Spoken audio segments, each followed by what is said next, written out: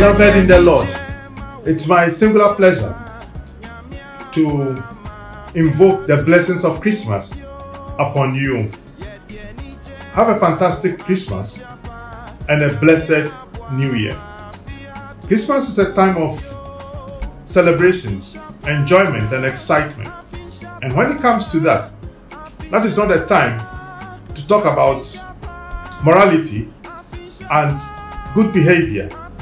But for once this year, I am inspired to talk about the moral impact of the incarnation. That is the moral impact of the birth of Christ. Or if you like, the moral impact that the nativity narratives, the narratives surrounding the birth of Christ, teach us. At the heart of the Christmas message is moral transformation, as can be confirmed from this verse, which is my anchor text actually. Matthew chapter 1, verse 21. Matthew chapter 1, verse 21. She will bear a son, and you shall call his name Jesus, for he will save his people from their sins. So, she will bear a son, and you shall call his name Jesus, for he will save his people from their sins. Christmas is about salvation from sin. At the heart of the Christmas message is moral redemption. And I keep saying that the moral miracle is the greatest miracle. I repeat, the moral miracle is the greatest miracle. So, Joseph received an angelic visitation, giving you a background to the text we have just read. And in that visitation, the angel encouraged Joseph to take Mary, although she was pregnant, to be aware that the pregnancy was of divine origin. And then he added that the child that will be born will be called Jesus, for he will save his people from their sins. Jesus is the Greek translation of Joshua, which actually means Yahweh saves. Yahweh saves. And what does Yahweh save from? Yahweh saves from sin. Yahweh saves from moral corruption, which is actually the root cause of all human problems. So, as we celebrate Christmas this year, beloved in the Lord, let us focus on the key issues of morality that emerge from the nativity narrative. The key issues that emerge from the nativity narrative. All the characters demonstrate key ethical values, good moral behavior that we need to emulate. The first one is Joseph. It is said of Joseph that because he was a righteous man, he did not want to expose Mary to disgrace. So when he realized that she was pregnant, she was going to put her off or end their relationship secretly so that she will not be disgraced. And this brings to mind the current concern we have for other people as we think about them and what happens to them. Some of us wish we could disgrace other people, disgrace our spouses, disgrace our children, disgrace people who are close to us.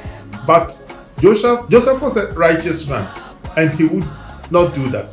Righteous people do not rejoice when somebody is miserable. Bible says, do not delight in your neighbor's day of shame. So don't pray that evil happens to anybody. First message. The second one is Mary's humility. Mary was humble, very humble, from a very obscure origin. She rose, was selected by God to become the most famous woman of all generations. In her humility, it is said of her that she would always treasure everything that comes her way in her heart. Her self control is amazing. She will not talk, she will not babble like some other women. She will keep the secret of God. She will reserve the revelation, ponder over it. And that is why she was chosen.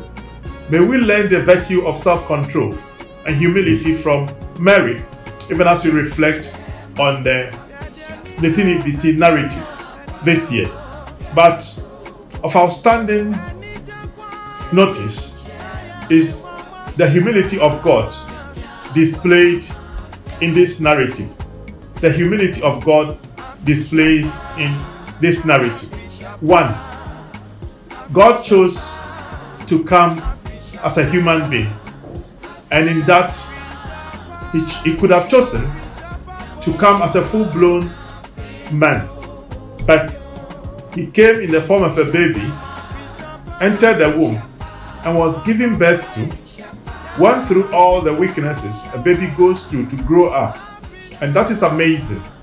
Beyond that, let's look at the circumstances in which he was born. He was born in a manger. Nobody gives birth in a manger, not even a mad person will do it. But Christ was selected to be born in a manger. Why? Because Christ is a lamb. And you don't give a lamb, you don't give birth to a lamb in a maternity ward. John said in John 1:29, This is the Lamb of God that takes away the sin of the world. So because he was a lamb, he was given birth to in a manger. The birth location was a manger to give us this sharp message of humility that circumstances surrounding your birth does not actually matter. It is the grace of God upon your life that counts. He was born in a manger, but he rose up to become the King of Kings and the Lord of Lords, supreme and sovereign in all creation. Humility. Do not despise humble beginnings. That's the first message.